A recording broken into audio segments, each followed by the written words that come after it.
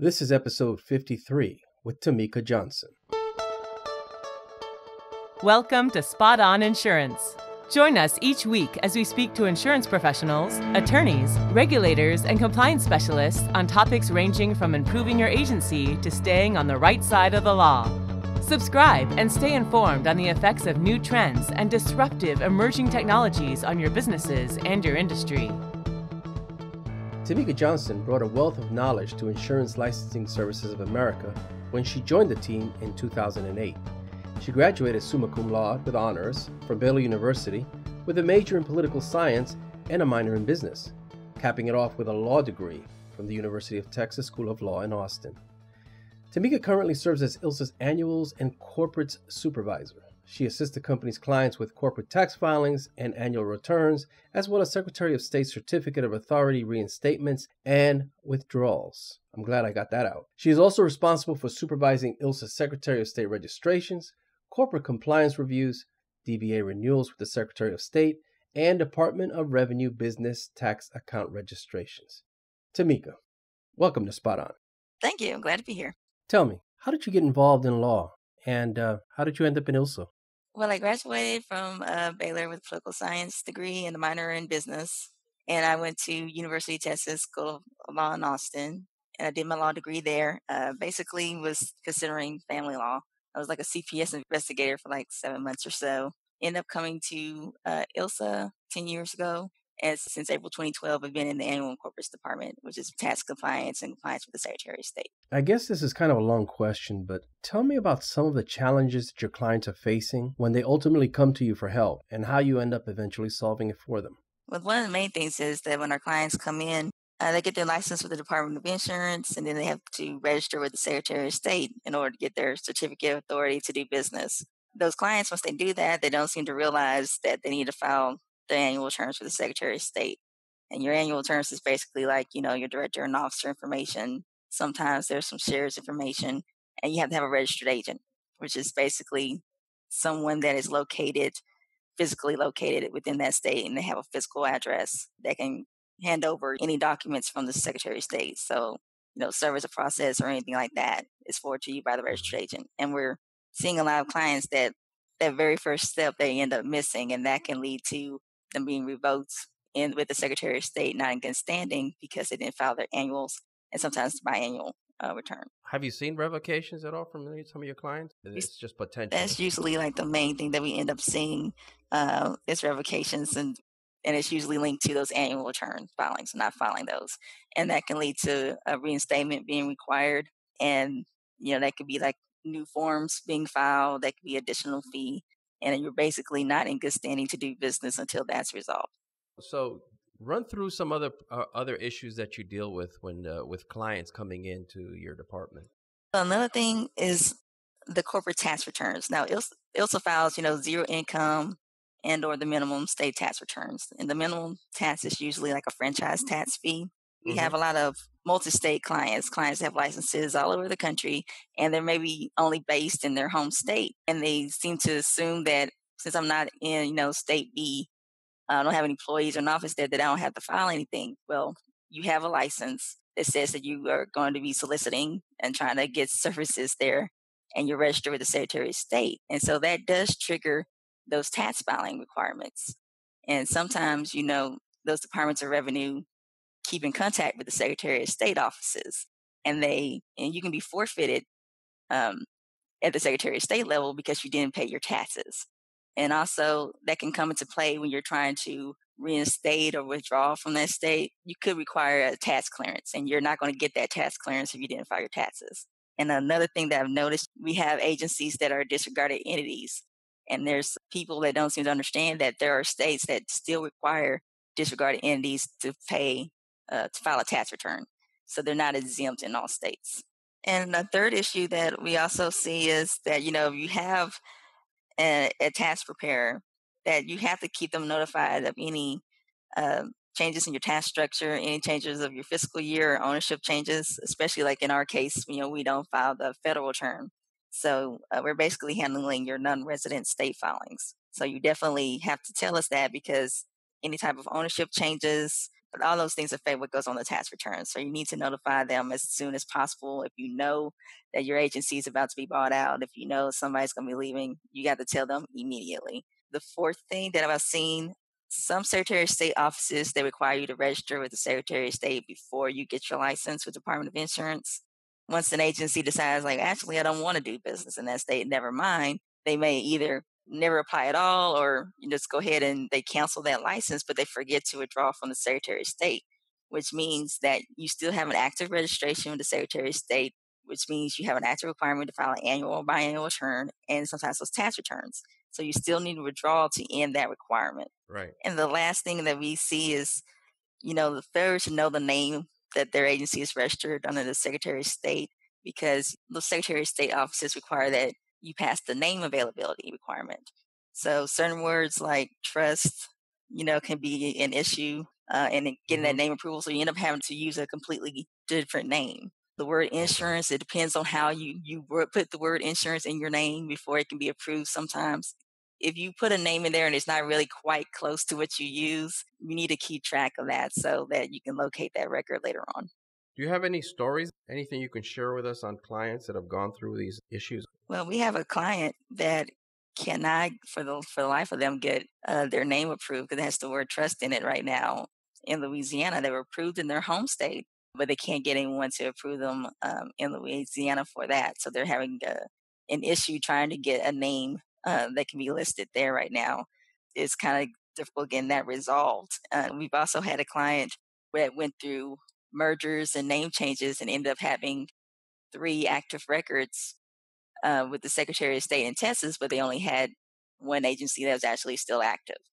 And so right. that ended up being, you know, a complicated uh, kind of issue where they had to basically get try to get rid of the other two records and have it where they just have one agency that's in existence, only one agency that actually owes tax returns. And they were fortunate that the state of Texas allowed them to go ahead and get rid of those other records and have one listed.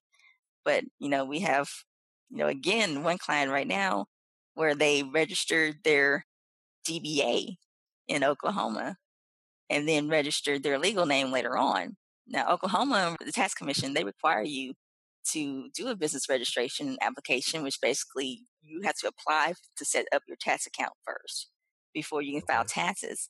And for some reason, they allowed both of these records there, and only one of them has the tax ID. But the Oklahoma at this time would not allow that agency to move their tax returns to their legal name and just close out the other account. Um, they're uh, requesting that that client pay years and years of franchise tax returns, even though they already paid their franchise tax return. It's the same agency. Um, they have the tax returns, they have the fee. Uh, we can show that the tax ID goes to this legal name, they will not move it. And so right now they were trying to add a DBA to their mm-hmm. record mm-hmm. and they can't uh, because their legal name is listed as inactive for failure to pay taxes. And the taxes. Wait, but they paid the taxes, right? Yes, but they had uh, they applied for they put their their legal they put their trade name in Oklahoma, and so they put that as their record. They won't acknowledge the other record that is saying that the record is taken out. So your your job is partly to loosen up these knots that people get into because I mean, is this what you do on a regular basis? You're working with these people who have these problems. Some of it self-generated, but some of them they just sound like they've fallen through the crack and the states just refuse to work with them to to make these changes. And then somebody's got to come in and try to help them resolve. Basically, that's kind of how we end up getting introduced to them. Either they're like a brand new company and they just um, don't want to deal with the compliance end of it at the very beginning, or you mm-hmm. know, there's someone that they were handling it in house, or they had someone who handled it for a long period of time, and that person just left, and you know they're getting these notices now, and those notices get forwarded to us, and they're like, okay, what does this mean? What is this about? Basic questions end up being like, we didn't know we needed to do this.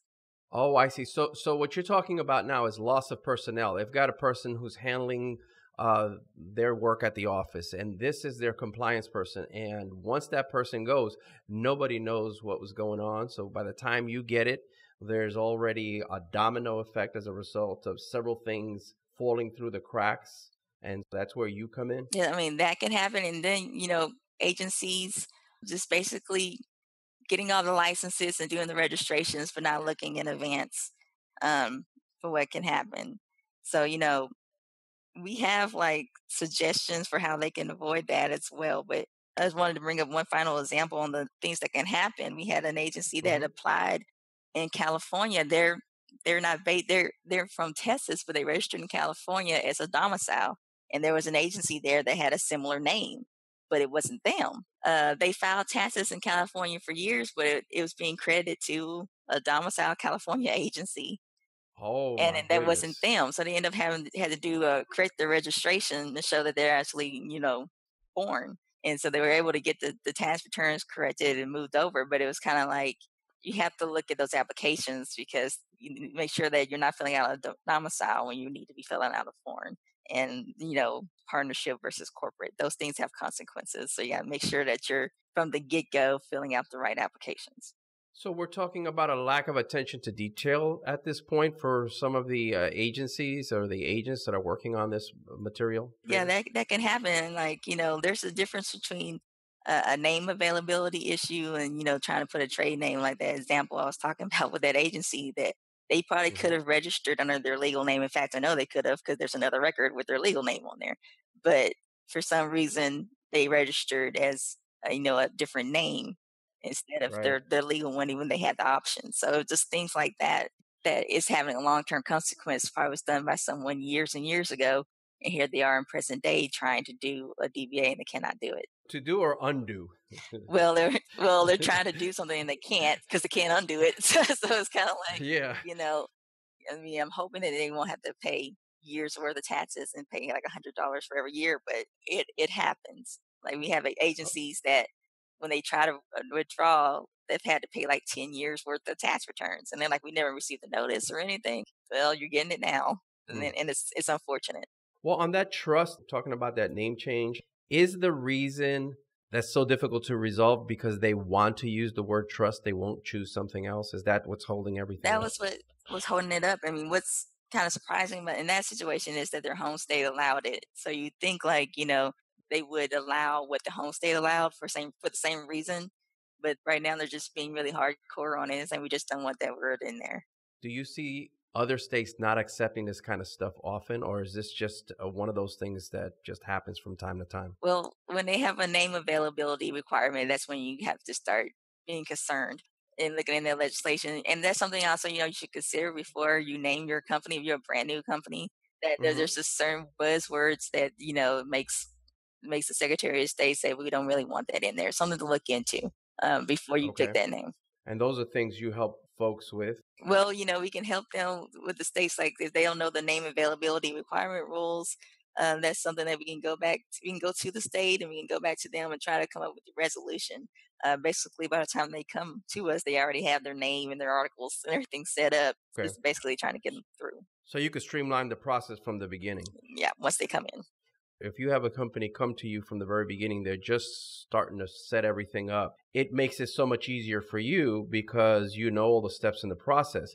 But what often happens is you're coming in in the middle, right? Where people have already created these problems and they have these issues, and your job is then to solve these issues, yeah. right? Yeah. And we have like, I, mean, I could tell you probably briefly like five things that we consider you know something that they should start doing uh, especially like uh, the agency comes to us and they want to join annuals and uh, corporate tax return services. The main thing that we ask them up front is okay you came to us because you got a notice and you you have this one problem but this is a good time to audit your records. And it's something that we offer and we call it the corporate compliance review. And it's basically mm-hmm. checking to see if you have like an active license with the department of insurance if you have an active registration with the secretary of state and we give you your information like your file number with the state and your, mm-hmm. you know, whether or not you're your registered agent and whether or not you're behind on your annual returns. Because just because you have a notice from one state, because not all states are equal on those notices, I'm just telling you. Uh, mm-hmm. This is your chance to find out up front is if there's an issue and then we can go back and fix what the issue is and just make sure going forward you're good. Okay. And like we were talking about before, like those people, the brand new clients, like we we've been getting clients who are coming in from Canada and are coming into the United States and uh, I know we were talking to one client, he's Canadian in California, and he was like, You know, we, we were just thinking like, you know, we want to register in like in the big states. And that sounds like a good strategy, but you have to think up front, especially if cost is a concern. If uh, you're not really doing that much business in that state, do you need to have a license and a registration there? And if you are and you, you're just ready to go and do it, that's fine. But you need to know if there's Secretary of State filing requirements, especially if the tax filing requirements as well. We get so many clients who are like, we don't do $8 for the business in the state. But, you know, it's California and it's $800, you know, minimum franchise Whoa. every year. So it's like, if you do that, you need to, once it's done, you're, you're just stuck with that.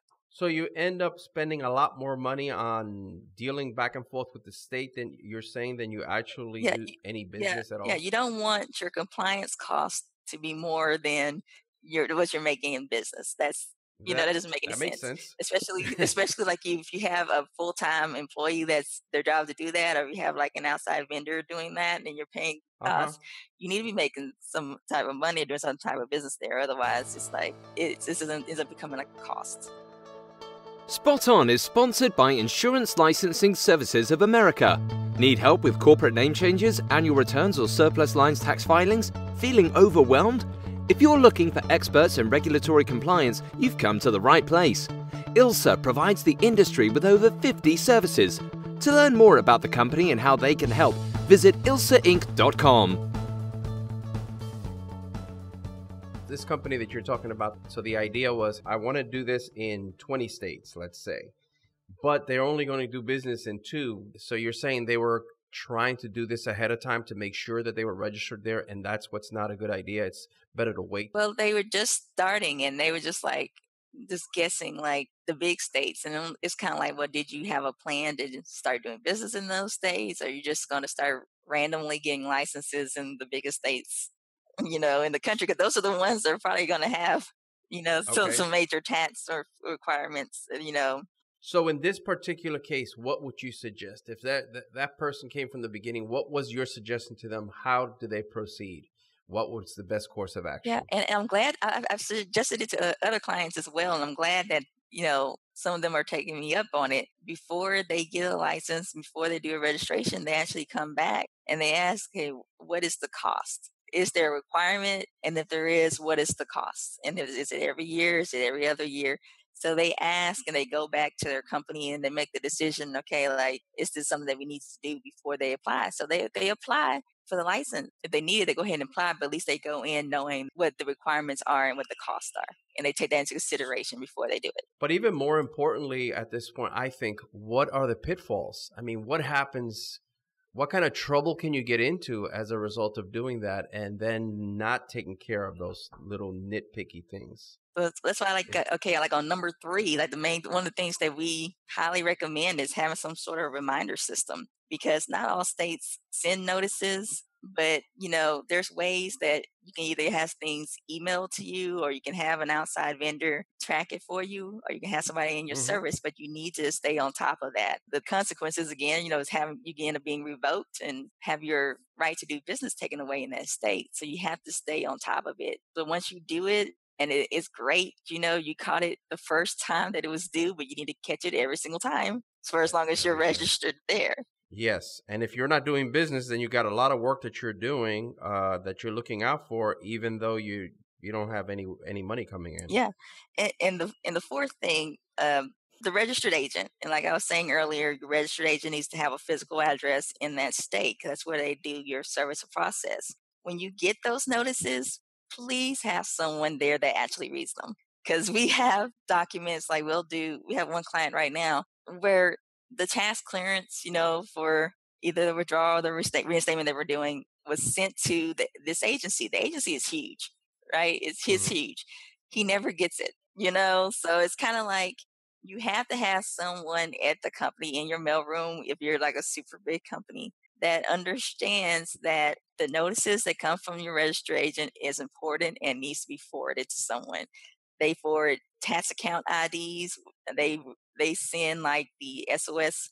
Some of those uh, Secretary of State sites have PIN numbers that are needed for the filing. Right. That's important. Your file numbers for this, you know, the states, whether or not you're forfeited, all those things are coming to you from your registered agent and your reminders too. But all those things you need to keep if you're not processing that, you need to forward that to your to your accounting department or your outside vendor that's handling that. Every time some of these dominoes falls, you're you're telling me they're not reading the material that's coming in from the registered agent, right? Yeah, a lot of times they're not, or it's just going into a mailroom and going I don't know where. I just know like especially when we're there's certain documents that goes to the agency, it doesn't come to us. So when it goes to the agency, that's something that they need to forward to their to their vendor so they can handle but that's clearly not happening. And it, especially in those large companies, mm-hmm. somebody gets in there for like, oh, big whoop de doo. I'm like, it's it's a big deal. You have to keep uh, your pins. You got to keep your account numbers. Those things are needed for filing, and those things are needed for your returns. That's your Department of Revenue is saying that this is the number that your tax return is listed under.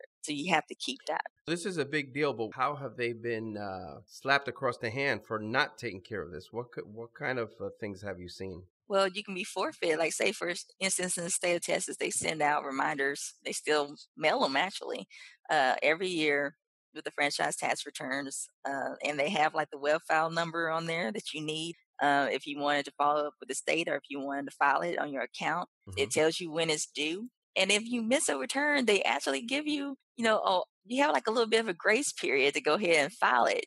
But if you drag on and on and you don't do it, they revoke you with the Secretary of State. You're, you're forfeited for taxes and you end up having to file those back tax returns and there's a $50 late penalty. And then you have to do a reinstatement and there's a fee for the reinstatement and all these things. And it's not like, and they tell you upfront when it's due and they give you a little bit of time to, to handle it. They actually do follow up. So it's a matter of, you know, just read the notice. And if you don't know, there's a number on there. You can contact someone and they can help you out. You know, right. uh, the Texas franchise tax return has no, if you don't meet the threshold, no fee. So you're just basically end up paying money for not filing, ah, you know? Okay. It's a very, you know, it's kind of straightforward filing out of these uh, steps that you're talking about, these are really steps that an agency can take to to ensure that they stay in compliance? Yes, and, and my last and my last one here, uh, the fifth one here is like like you're saying, you know, if you cancel your Department of Insurance license, you need to immediately withdraw from the Secretary of State. If you know, like you're about to do a number, some some people choose to non-renew if it's about to expire pretty soon.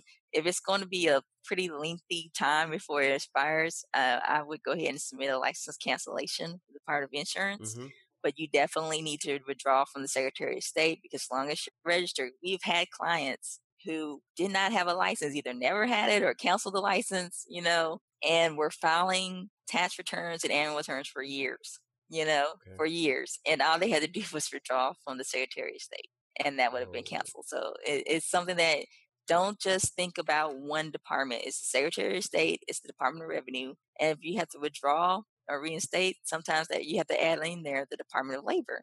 Uh, even though you have no employees, you still have to try to get a tax clearance from them too, depending on the state. So you can't just think Department of Insurance, Department of Insurance. Yeah, think about the other agencies, especially Secretary of State. So how do I keep up with all these different agencies that I've got to deal with? Do I keep up because I'm getting all these notifications from them?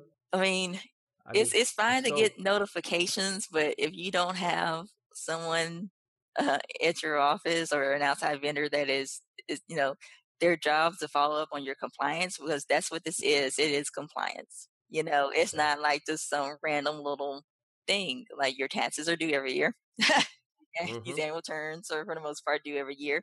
These state tax returns are tagged to your to your federal return.